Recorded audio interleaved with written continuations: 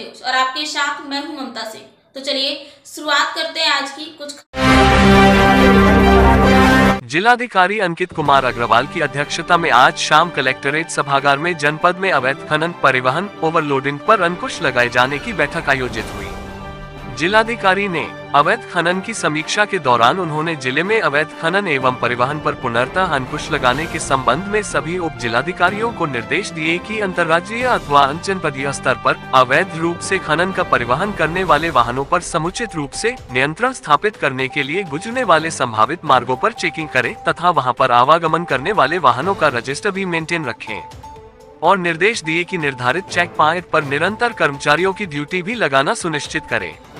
उन्होंने सभी उप जिलाधिकारियों और पुलिस क्षेत्राधिकारियों को निर्देशित किया कि कर्मचारियों के साथ ज्वाइंट मीटिंग करना और उनके कार्यों की मॉनिटरिंग करना भी सुनिश्चित करें। उन्होंने निर्देश दिए कि अवैध खनन परिवहन में जो भी वाहन पकड़े जा रहे हैं, उनके लाइसेंस को निरस्त करने की कार्यवाही करना भी सुनिश्चित करें। आप देख रहे हैं जनादेश भारत न्यूज़ चैनल पर हमारे सहयोगी संवाददाता नीरज पाल की यह लेटेस्ट खबर हिंदी में देखिए।